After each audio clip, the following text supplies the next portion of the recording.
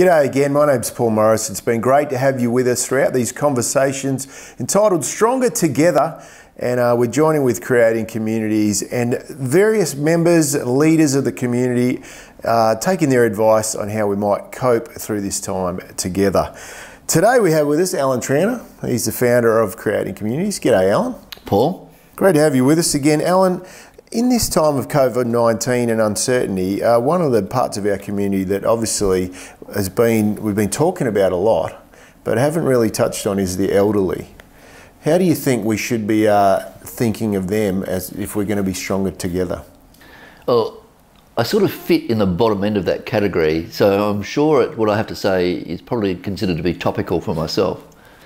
The first thing is I th think it's so important that we're respectful. Now, there are already jokes around that this disease is the boomer remover. So, what, what sort of message is that giving to older people? Does it mean they're expendable? And to me, that's just so disrespectful it turns my stomach. Because we need to look at the, at the role that older people, or the older people that we have in our society today, have played over their life. And if we think about that life that they've led and the Australia that it's created for us, we should be not just grateful, we should be honouring of the older people that have shaped our, of our society. And it, it's probably an interesting time to think about where, what their life journey has been and even talk to them about it. Have, give them a call and have a chat to them about it. And I remember being on your radio show uh, and we talked about lessons we'd learned. And one of them was lessons we learned from older people. But then we also talked about what, we, what was the story of our family, because we're all migrants in Australia apart from our First Nations people. And if you think about the people who would be considered the elderly now, they're the people who came out to Australia after the Second World War. They were the ones who were displaced.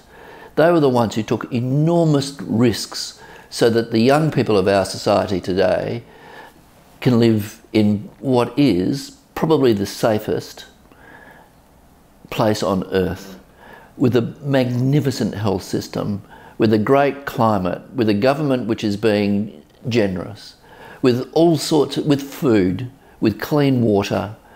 All of those assets are present because of the older generation that is in our society today. So I think honouring and respect is the first thing that we should offer to these people.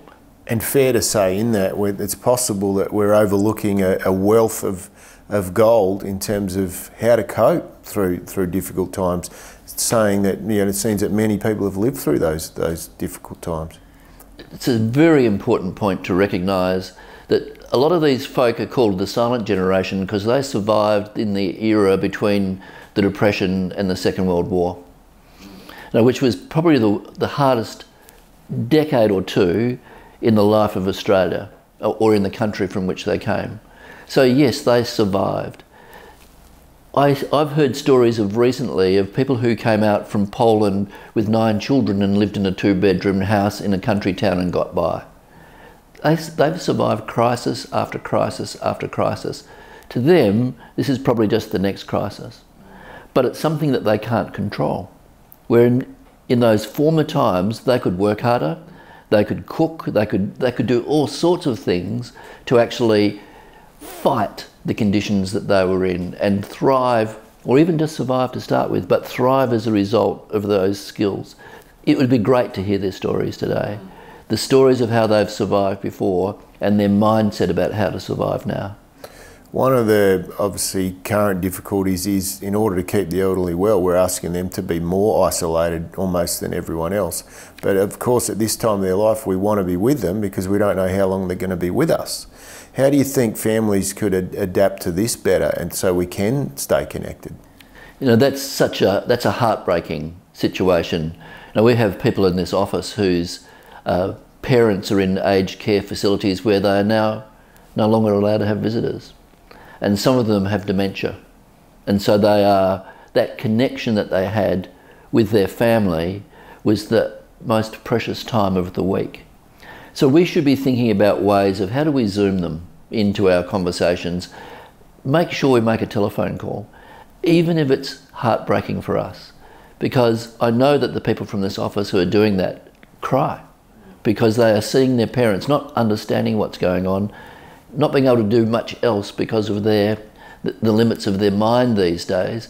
So we're the ones who should be making the effort to try and stay connected, even if it's sending them snail mail, sending them cards. You know, one of my grandsons, and I'm not talking about the elderly here, we, we, had a, we had a physically distant social catch up the other day with our grand, with a couple of our grandchildren, and one of them, who's nearly three, made a Lego flower for his nana, Donna, and his mum texted it to her. That brought great joy to Donna. What, let's think of ways that we can send our love in all sorts of different ways to our to the older people in our community. Uh, as you're speaking, I'm thinking of the current trend around birthdays, where people are doing drive drive-by birthdays.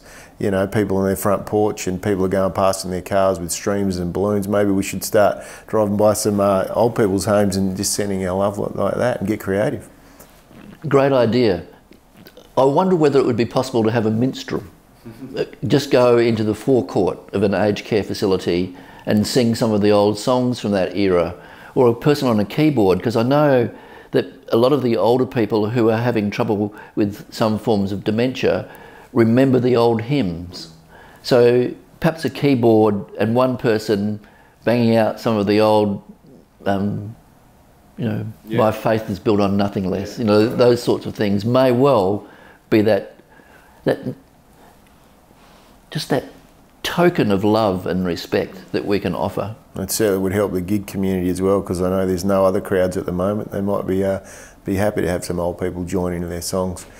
Would you have a stronger together tip for the community in regards to the elderly? I've got a couple of little quick things. Firstly, honour and respect. Stop telling jokes about boomer remover. That's just that's disgusting. Start thinking of ways to show respect. Even on the walks, we walk along um, the same pathway with a breeze and, so, and, and physically distanced. Let's smile at the older person and go, G'day, lovely to have you here with us. So let's make that little bit extra of an effort when we're physically distant to be socially connected to older people. And I love your ideas about let's see what we can do about organising some drive-by aged care facilities and just tooting our horns or some small gesture. It's great. Allan Tranter, thanks for joining us again. Pleasure. Thanks for uh, joining in the Stronger Together conversations. You can check them out on your Creating Communities platform. We'd love to talk to you again soon. And until then, stay safe, look out for each other, follow the government's advice around COVID 19, take care of yourself and loved ones, and don't forget, we are stronger together.